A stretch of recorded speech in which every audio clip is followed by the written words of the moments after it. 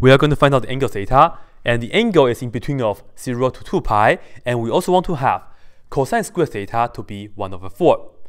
This right here looks kind of unusual, right? Because we have the square here. But it's okay, because just think about it. How can we get rid of something to the second power? Well, we can just go ahead and take the square root here, right? So that they cancel out. And we do the same thing on the right hand side, right? So we do that, and be sure when you do this, include the plus minus on the right hand side. So in this case, in fact, we have to work out two situations. The first one is cosine theta, let me just write it down here, equal to, well, the positive version of the square root of 1 over 4, which is the same as positive 1 half. And the other situation is that we have to put down cosine theta to be the negative version of 1 over 2, like that. And we should be able to do this, and we should be able to solve that. Altogether, we just do this and that, and we put the answers together, right? So let's focus on this one first. Cosine theta to be 1 half, and we know cosine is x over r, and from here, you know, we can say we can take x to be 1 and r to be 2, like that. And we can just go ahead, draw our reference triangle based on this information. Okay, x is equal to 1. Let me just make this darker like this. This is my 1, okay? And for r is equal to 2, in fact, you have two possible ways to do it. Starting from the origin, and then you make the 2 like that, or go down below. Two possible situations, right? And for the first one, I'm just going to do like this, right? This is my r equals to 2. And now I will have a reference triangle right here. 1 on this side, this right here shall be square root of 3 because the hypotenuse is 2 already. So this is square root of 3. And you know this is going to be one of the special right triangle, and it is the 30, 60, 90 special right triangle, right? So this is 1, this is square root of 3. This right here is the 60 degrees right? And this right here is the angle theta that we're trying to find, 60 degrees. So the idea is that even though I put down 60 degrees here, but we are using radians in the equation, right? So we have to convert the 60 degrees into radians. Let's do it right here. 60 degrees, we multiply by pi over 180. And you can reduce, right? This and that, altogether you end up with 3 on the bottom, pi over 3. First answer, theta equals to pi over 3. All right, in fact, I could have drawn the triangle down below, right? Just how I indicated earlier. So I'll do that right here as well. So let me put this down.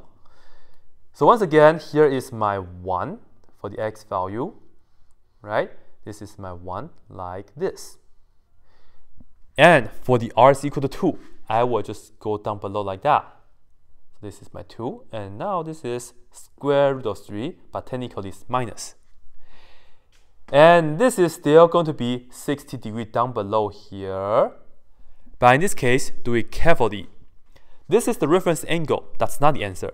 We have to count, right? We have to keep track from the positive x-axis and rotate all the way from here to the terminal side. Okay, we know the whole circle has 360 degrees. This is 60 degrees already. That means the red part here is just 300 degrees, right?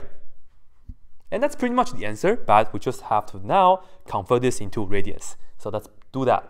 300 degrees times pi over 180 degrees. And you can reduce this and that, right, by 60. 60 goes into 300 five times, and 60 goes into 180 three times. Altogether, you end up with pi over 3. So, second answer, uh, let me just put 5 pi over 3. 60 goes into 300 five times, right? So altogether, this right here is 5 pi over 3. And let me put this down right here. 5 pi over 3. So you see we got two answers from here. And now we'll work this out, right? So once again, cosine is x over r. And in this case, we take x to be, I will put the negative up uh, to the top, right? So this is negative 1 over 2. r can never be negative. That's why the x has to be negative in this case. Take x to be negative 1, r to be 2. And now let's pretty much do that again, right? So in this case, let me draw the first triangle. x is equal to negative 1 now, so I will just go to the left now. This is my negative 1. r is 2, so I will do like this, right? This is my 2. And once again, you know this triangle, this side here is square root of 3. This angle is 60 degrees, but you have to calculate it from here to the terminal side, right? We know the whole thing is 180 up to here, but this is 60 already. That means this red part is only 120 degrees.